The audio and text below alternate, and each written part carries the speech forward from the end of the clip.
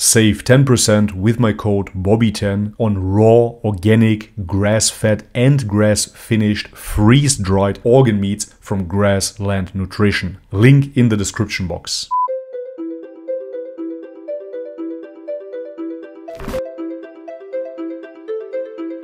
Alright guys, welcome back to the channel. If you're new, my name is Bobby. Guys, today we're gonna react to the miraculous Kaaba. Why do Muslims pray towards the Kaaba? by Rational Believer. Guys, lately I've been learning more and more about the Kaaba and I have to say that I'm absolutely fascinated by that subject. Of course, the atheists and anti-Islamists will claim that the Kaaba is just a pagan worship place. It has nothing to do with Abraham, but the Muslim claim is of course that this house has been built by Abraham and his son. Why, however, Muslims have to pray into the direction of the Kaaba, I do not know, and therefore I'm looking forward to find out in today's video. With no further ado, let's have a look.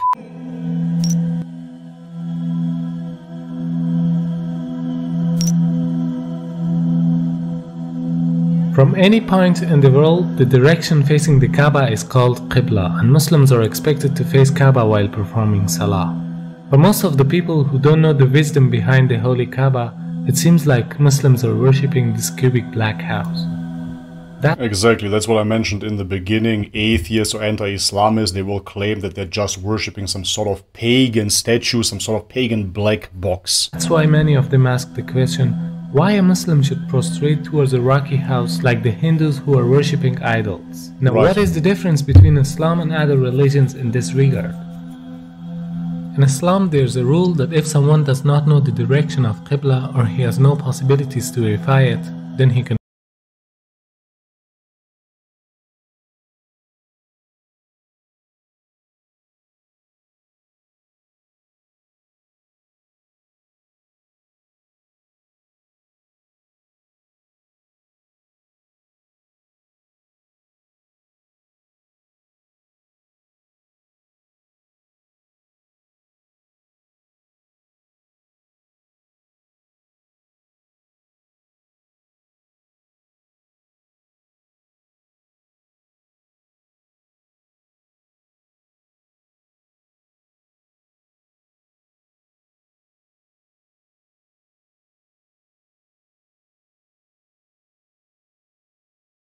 is just my personal perspective, my personal experience. I'm not an Islamic scholar nor a Christian scholar, but what do you think when you hear, so wherever you might turn, there is the face of Allah. Is that not an omnipresence of Allah? Is that not an omnipresence of God? That no matter where you turn, He's actually there. How would you interpret that Islamically? Coming from a Christian background and moreover having ventured into the New Age spirituality, etc., etc., I came to the conclusion that God is all encompassing and God is essentially everywhere.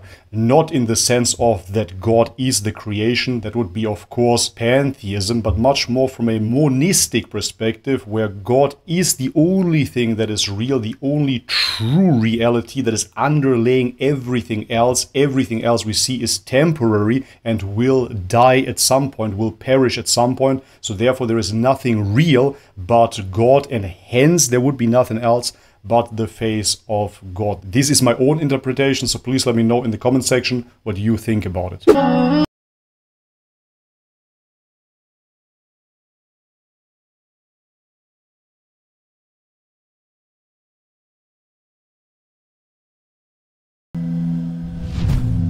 From this verse we can understand that the meaning of prostrating towards Kaaba is only to be united. Otherwise, everywhere is belonging to Allah subhanahu wa ta'ala. Right. No Muslim ever worships the Kaaba when you offer salah.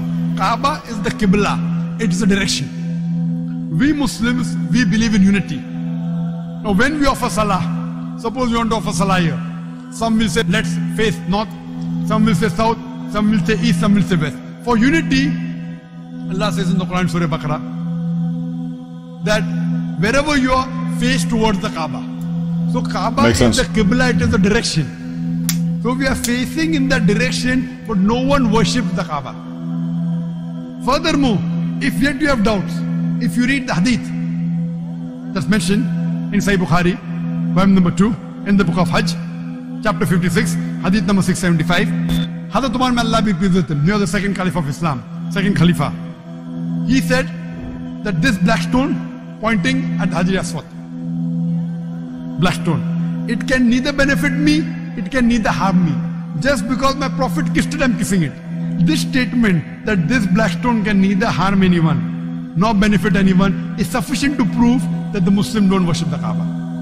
Furthermore, at the time of the Prophet. I have to interrupt here. I wouldn't know how this is proof necessarily. This is something that a Buddhist monk can say as well about a golden Buddha statue. He could say it doesn't benefit me nor does it harm me, and therefore we have proof that it is correct. So I don't find this a good argument. There were Sahabas, there were companions of the Prophet who stood on the Kaaba and gave the azan. No idol worshipper will ever stand on the Kaaba and give the azan. Proving that no Muslim ever worship the Kaaba, it's only the Qibla, it's a direction. Not only Salah. But why do you kiss it then? That's an honest question, I really want to know. Towards the Kaaba, rather the circumambulation is also a sign of unity.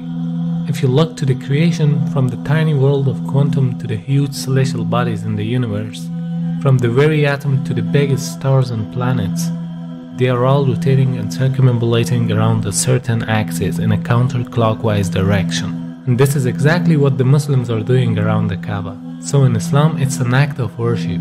It means in nature, everything is worshipping the Almighty Creator, but not the body which is yep, the center of. Absolutely powerful. I used to practice Falun Dafa, and now I'm not saying that Falun Dafa is the way, but within Falun Dafa, which is essentially a Qigong practice that comes from China, you are mimicking the spinning of the cosmos. And this is what I got reminded of when I saw the people spinning around the Kaaba. Essentially, the representation, the manifestation of everything being in motion within this universe. Very, very beautiful. The circumambulation. This represents the unity in the whole creation. Right. Beside the logical fact, there's a scientific reasoning about the Kaaba. When a person puts his head on the ground towards the Kaaba, the harmful charges would be released out of his body in a perfect manner, and it causes the body to balance its energy system. To know how it works, first you should know about the concept of the golden ratio. The golden ratio is a proportion of a longer distance to a shorter one, which is equal to phi constant, 1.618. This ratio is also called a divine proportion because the Almighty Creator has used the very same proportion in a great number of events.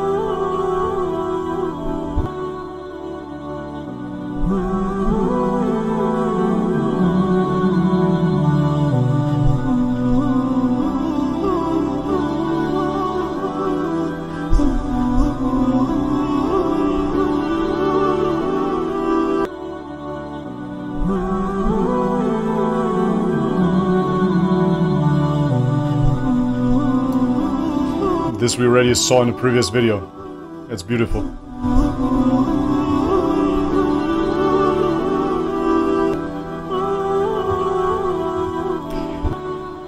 Always have to think about atheists. Sorry guys, I have to repeat myself, but if you are so scientific, if you are an atheist and you see such geometry, such symmetry, isn't this obvious proof to you that there is a creator behind this creation? I really don't understand people that can go throughout their life looking at those numbers, analyzing them even, and then saying, it's all random. How? How does that work? I can't fathom.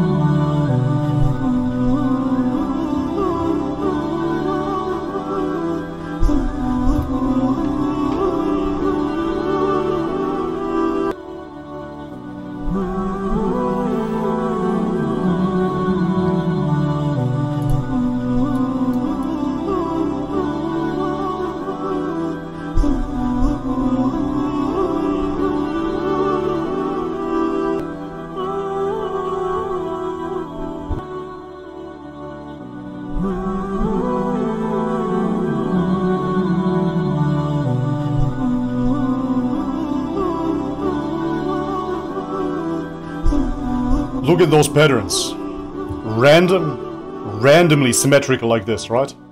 Coincidence? Yes. How? Wow, man. I've seen it before, but it's still so beautiful to watch. The golden mean in itself is an evidence of creation. If we apply this ratio on Earth, we'll find out that the golden point of the globe is the city of Mecca.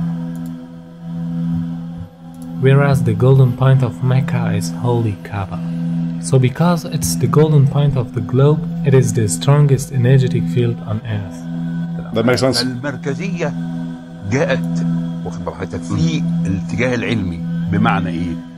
ان هم لما طلعوا في الفضاء وصوروا فلقوا الارض كرة معلقة ومظلمة ولذلك حتى الراجل قال إيه؟ أجدها كرة مظلمة معلقة. من الذي علقها؟ ده هو يريد اللي خرج هو أرمسترونج. آه.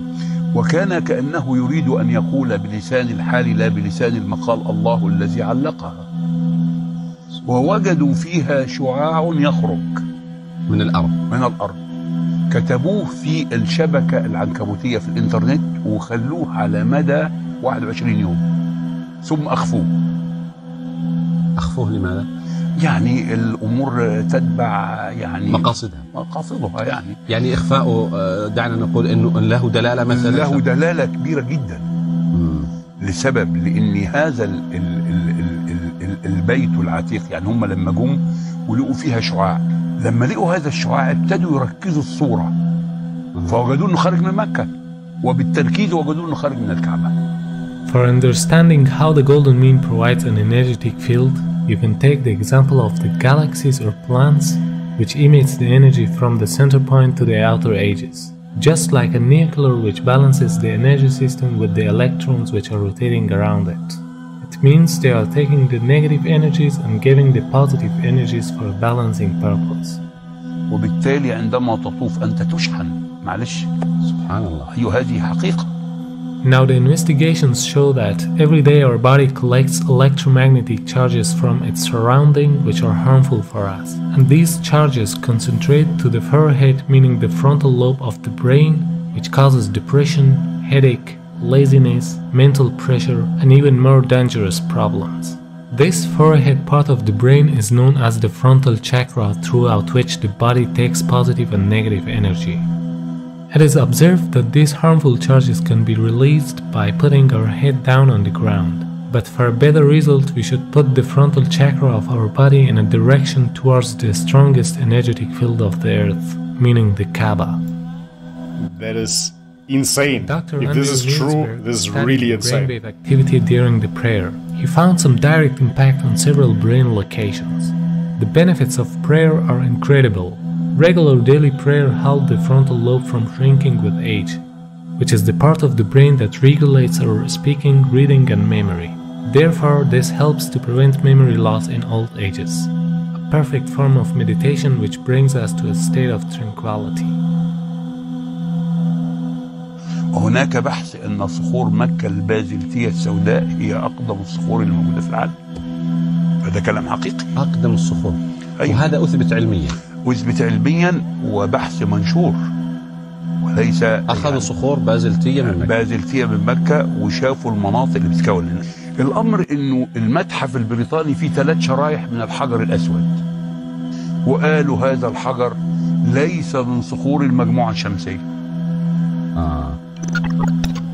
I would have to look this up, The man. latitude of the coordinates of It's a wild Kaaba claim. is 21 degrees and 25 minutes. The first verse that describes Kaaba is the verse 225. Could this mathematic harmony be a simple coincidence? The possibility of numbers depicted in the Quran with order number 114 rising until verse 286 which describe the Kaaba for the first time, has a chance of 1 in 100,000 for them to appear next to each other. Surah 2, verse 125. The part of the coordinates after the comma can be described in the form of minutes as well as in ratios of percentages.